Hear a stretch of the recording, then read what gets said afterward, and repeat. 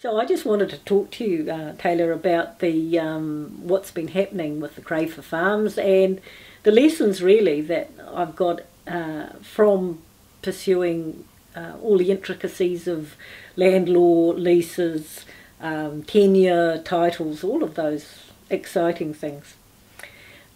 About two years ago, I made a submission to the Seabed uh, and Foreshore Select Committee uh, the, it was the Maori Select Committee for the um, seabed and foreshore changes that they were mooting at that stage. And quite frankly, I don't know what happened to those. They seem to have sort of um, gone underground for a bit.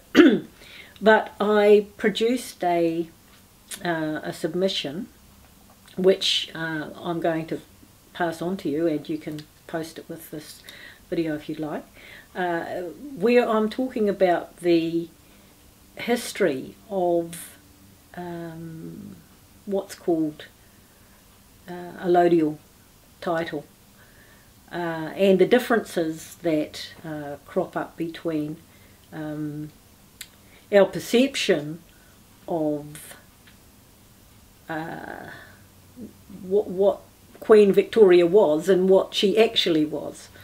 Uh, I'm talking uh, in the submission about the fact that in the treaty, uh, she is uh, described as having uh, the lands of New Zealand uh, ceded to her. Um, well, she's not. No, she doesn't. It's not talking about the lands. It's all all those things about sovereignty. Now, if you didn't know the history and what was going on in New Zealand at that time, you would think there might have been a war.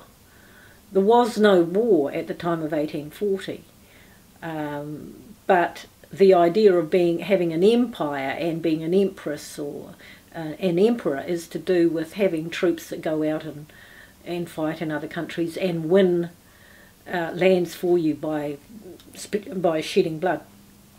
That wasn't the case in New Zealand, and in fact, um, Article Two makes it clear that um, the land there's no claim on the land um, uh, on the allodial um, status of the land by by the British uh, because she's talking about buying land, uh, well, or people buying land on her behalf. So I think that if you think of the, the, the treaty then as a settlement, a peaceful settlement treaty for land, and then look at Article 2 and say, okay, we're talking about Maori as proprietors, it's obvious that they're setting up as a uh, a proprietor, proprietorial system for, for titles, which means that you're prepared to sell land. And uh, the titles are the descriptions, of course. So that's why when you're there was so much trouble with the surveying in, in Taranaki because that's the first step that you have to take when you're going to uh, prepare land for sale. You have to know uh, where it is, um, what size it is, and what are its boundaries before you can put it, um, before title can issue, all of that has to has to be done. So, um, so then it becomes rather puzzling because the um, the issue of titles and tenure, which is um, is is the occupation and possession of of the land for certain periods of time, is something that's been on my mind a lot for, in the last two years because of the um, the Crafar um, saga and um, and a lot of other cases I've been pursuing with people in um, in attempts and, and successful attempts for people to keep um, keep their homes. So um, my uh, view of it is that the uh, we, we described as having uh, being tenants in fee simple. That's that's our description. Um, when on any piece of land, on any piece of um, freehold land, um, we're tenants in fee simple, and we're either um, freehold tenants or leasehold tenants, and our tenancy is coming from the crown. So the crown is saying it has a allodial title. But as I was just saying before, the treaty makes it clear that there is no claim to a allodial title. So that must mean, in actual fact, that the Crown has a lease how long is the lease? My guess is something like 3,000 years. And why I say that is because there is legislation in the UK uh, that talks about um, a 3,000 year lease or a 3,000 year uh, time period to pay back a certain amount of money. Now this is modern, modern, um, excuse me, modern um, statute. It's not something way back. Even if it was way back, if as long as it's still on the statute books, it's still good law. So my guess is that, that the Crown has something like a 3,000 year lease, or maybe um, 2,500 years, and out of that lease it cuts a, a Crown grant. And that Crown grant, um, when it's actually granted to um, granted to um, individuals, it it takes on the um, the status of in perpetuity.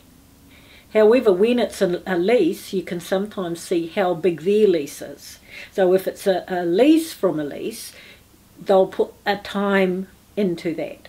So, for example, um, the before the Unit Titles Act, um, if you lived in a uh, on a piece of land that had, say, three flats on it, the it would be divided up into what were called cross lease titles, and those, excuse me, are usually expressed as 999 years.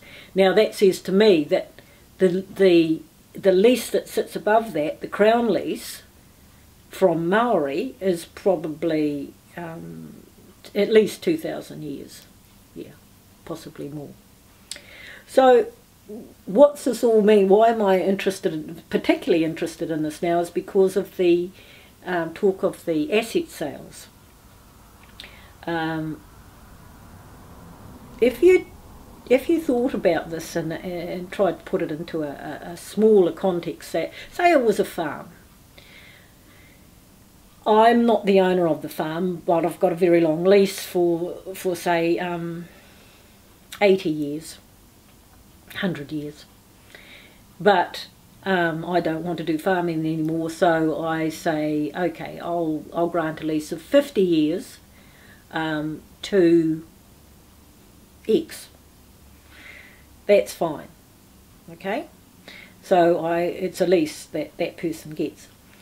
Now, what he's he or she is going to do on the land is probably farm. Now, what if, though, I purported to sell the land to somebody else.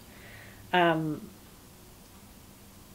it's not possible actually um, to part with something that you only have a lease on. The other thing is what might be the conditions that Maori were thinking of when they granted this lease to the Crown in 1840. Uh, would they have agreed with, say, fracking would they have agreed with um, mining? Would they have agreed with um, uh, you know, actually alienation of the control of the land, because of course the land can't be taken anywhere, but control of the land um, to overseas um, buyers, for example, or lessees in actual fact, tenants. So uh, I'm thinking that that people need to get into their heads the idea that, in actual fact, the Crown, although it purports to be um, the ultimate, is only here on a long, long lease. And that people should um, start considering that and thinking about um, um that when we're talking about asset sales. Um, because when um, the lease that the Crown has is from um, people who held the land and collect the allodial anyway. So, you know, who do you, who do you ask about?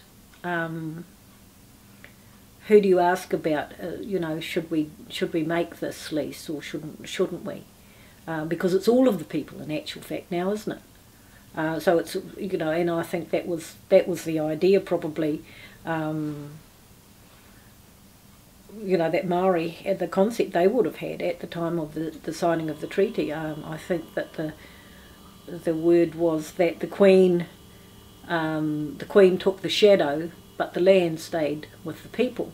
So, and I believe that that shadow is, is, is actually the titles, that they're talking about the titles, because Maori at that time would have been well versed in, in titles, because that's how shipping was done. Um, in the actual fact, the Torrens system that, that operated here since 1840 is, um, sorry, 1870, is a uh, shipping um, a shipping system, so a, a, ship's registration system. So um, I think in 1835, what happened was the the that Maori entered into a um, um, a shipping registration system that allowed them freedom of the seas, so they wouldn't be affected by acts of piracy by the British, and um, and then you know it, it works very well. Um, you know you can you can set it up as the basis for a cash uh, a cash flow system. So uh, that's and then you know we got the Treaty of Waitangi, but it's not to do with it wasn't a peace treaty in terms of there wasn't an army came in and took over the land from Maori and said right you're out of here. I mean they tried it again in in the 1860s. Um, but they had to declare they had to declare Maori to be um, um, foreigners to actually try and get their work their way around the legal implications of, of martial law.